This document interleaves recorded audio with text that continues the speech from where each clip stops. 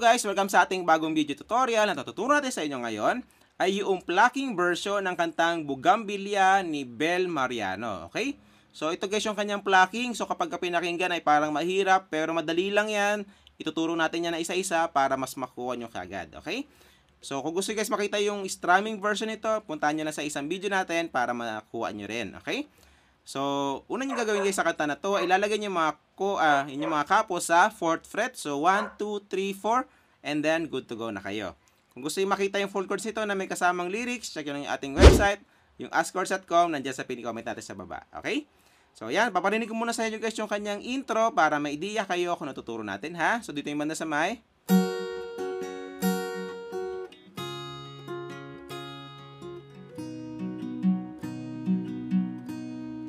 Mandano. So, paano yon So, yung mga chords natin guys, para sa intro ay D.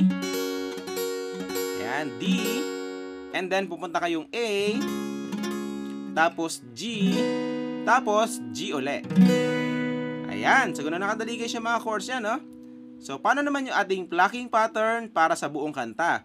So, ang numbering natin guys lagi ay yung number ng string para mas madali nyo makuha. So, 6, 5, 4, 3, 2, 1. Okay? So, ganito lang siya guys.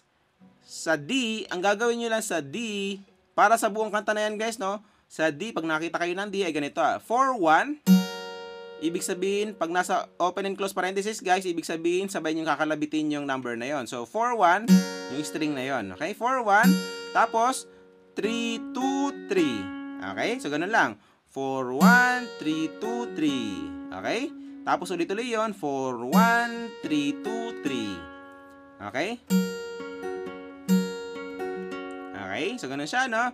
Tapos, A, pupunta kayong A. Ang gagawin nyo lang, papalitan nyo lang yung uh, kaninang 4, gagawin yung 5. So, 5, 1, 3, 2, 3. Tapos, ulit-ulit yun. 5, 1, 3, 2, 3. Okay? Tapos, sa G naman, guys, ay ganito na siya. Sinama ko na yung E kasi magkakaroon ng E mamaya, no? Sa mga verse at saka chorus. Mga magkakaroon ng E. So, isama ko na lang din. Pareho lang din yung plucking niya.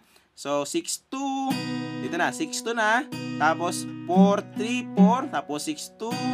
4-3-4. Okay? So, ganun siya guys, no? So, pasadahan na natin kagad guys yung mga intro para mas makuha nyo siya ng buo. Okay? So, pwede nyo ako sabayan guys. So, so dito tayo sa...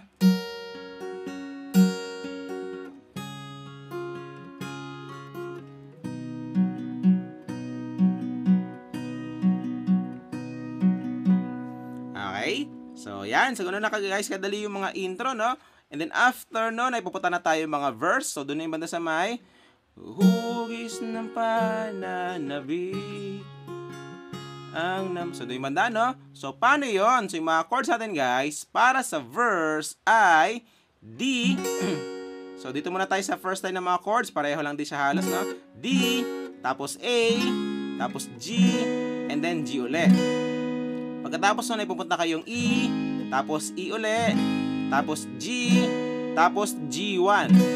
Ibig sabihin, isang strum down lang yan dyan pagdating dyan sa G na yan. Okay?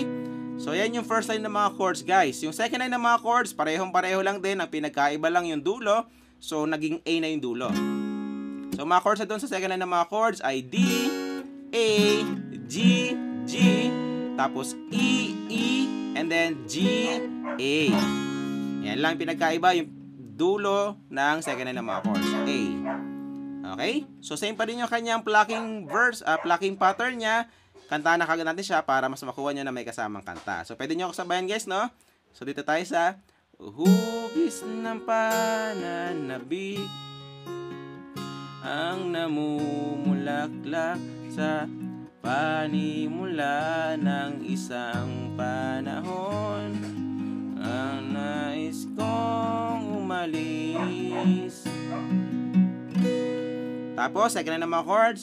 Ibig kong maibalik Ang lahat ng mga oh, At muni-muni ng ating pagsama. Noong malamig ang gabi. Tapos A. Okay? So, yan. Sa ganun nakadali guys yung mga verse. And then after nun, ay pupunta na tayo yung pre-chorus. So, doon na yung banda sa may pa no, no, no, ah, ko. So, doon yung banda, no?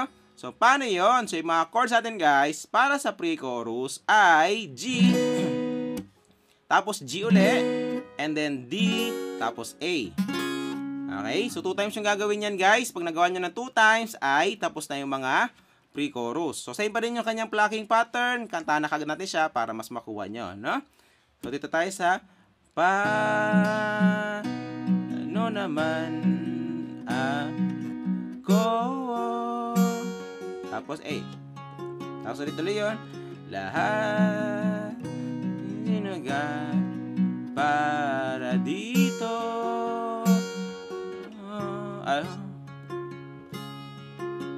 Okay? So, yan. So, ganun nakadali guys yung mga pre-chorus. And then, after nun, ay pupunta na tayong chorus. So, doon ay sa may Di ko na kaya na ikay antayin. Okay? So, paano yon So, yung mga chords natin guys, para sa chorus ay E, tapos E uli, and then pupunta kayong G, tapos G uli, tapos E, and then E uli, tapos G, and then yung pinakadulo ay A. Nilagyan ko ng 1, ibig sabihin isang strum down na lang yan dyan. Okay, so same pa rin yung kanyang strumming pa, uh, strumming, so plucking pattern, kanta na kagad natin siya para mas makuha nyo, no? so, Di ko na kaya na ikay antayin Sa aking paglista na'y paumanin Ang dilim sa balete Sana iyong makita Na ako, na ako'y pinagpala Sa bugambilya Okay? So, yan. So, ganun nakadali guys yung mga chorus, no? And then, after nun, ay pupunta kagad kayong interlude. Maikli lang yon So, D. Tapos, A. Tapos, G. Tapos, G ulit. Okay? So, same lang din siya ng mga chords ang intro. After niya magawa yung interlude, guys, ay pupunta na kayong verse. Same pa rin yung mga chords niya. Tapos, pre-chorus ulit. Same pa rin yung mga chords. Tapos, chorus uli. Same pa rin yung mga chords niya. After niya magawa yung chorus 2, ay pupunta na kayo instrumental. So, doon yung banda sa may, oh, So, ang mga chords nandun ay G. Tapos, tapos D uli. Tapos D. Tapos A. Okay? So, two times yung gagawin yun, guys. Pag nagawa nyo ng two times, ay pupunta na kayo mga bridge. Okay?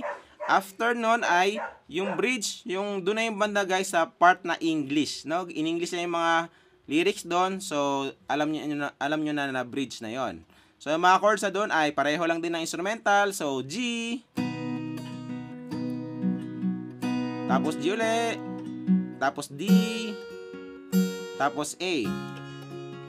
Ang pinagkaiba nga lang ay 4 times siya nang gagawin yung mga chords na yan. Okay? So, after nyo magawa ng 4 times, ay tapos na yung mga bridge, and then pupunta na kayo yung chorus, and then chorus ulit, and then tapos na yung kanta. Okay? So, yan. So, sabi ko sa inyo, madali nyo makukuha to guys, no? Again, puntahan nyo lang isang video natin, yung strumming version, para matutunan nyo yung kanyang strumming. Okay? So, yun sa bago nyo matutugtog guys, ito tayo sa next video natin. Bye!